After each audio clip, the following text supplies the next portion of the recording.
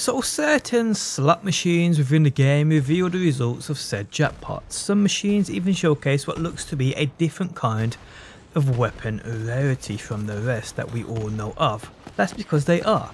How's it going guys, my name is DPJ and I'd like to thank you for stopping by and checking out the video. If you do enjoy it, leaving a like truly helps out and subscribe if you want more Borderlands 3 videos. Okay, so via Moxxi's bar, there are slot machines. This one here, you can see on screen now. I ain't sure if it's changed or has always been like this, but you can see for getting 3 hearts, you get what seems to be a rarer than legendary weapon. Now, I can't confirm that's the case, as I truly ain't sure. What I can do is show you two weapons obtained for getting those 3 hearts, and man, it costs some money to do so. So the weapon I got, you can see on screen now. It's called the Poison Lurk Shot Plus, and well it was just what I was looking for, a high level corrosive weapon, and I landed one. Mind you, it cost me almost 400k trying to get this. This thing consumes 2 ammo per shot and has a 2.2 times zoom, and is highly effective versus armor. Projectiles explode shortly after impact, and thrown weapon bounces on impact, so it's pretty damn epic. Notice though it drops as a rare weapon. Now this isn't the case for them all. My powers, which you can see on screen now, dropped as an epic. He's being the binary spooling heliophage, which is an SMG which can switch its element.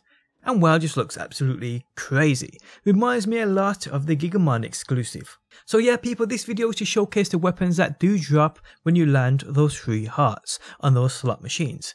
Now the slot machines are used where located on Eden and I will showcase to you the exact location they can be found. I'm doing this because a pal of mine said that he didn't know Moxxi's bar, the slot machines within here, actually had a slot machine which offered these weapons.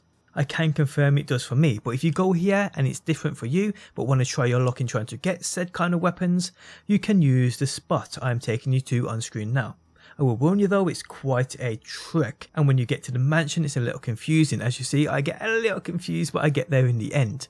So yeah, guys, these are those super rare weapons which cost an absolute bomb. Remember, if you need money, I've posted numerous guides on how you can get super fast money, 200k per minute. And I will link a video in the video description if you do want to check it out. But yeah guys, just a quick video showcasing you guys these weapons before you go into here, burning off your money trying to get one. And on that note guys, we have come to the end of the video. If you guys enjoyed it, leaving a like really helps out. If you're new around here and want more Borderlands videos, be sure to subscribe. And if you never want to miss a video I upload, you can turn notifications on by hitting that bell button.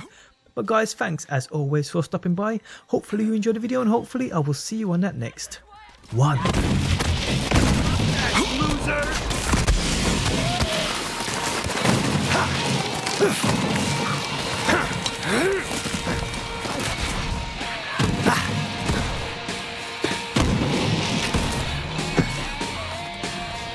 You should back away.